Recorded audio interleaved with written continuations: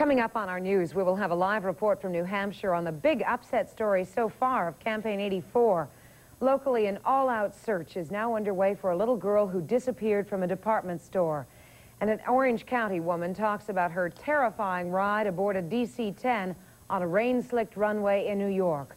Plus, behind the scenes at the Grammy Awards, we're going to be hearing from some of the winners. So join Jess Marlow and me for those stories and more on the Channel 2 News tonight, following the Grammys.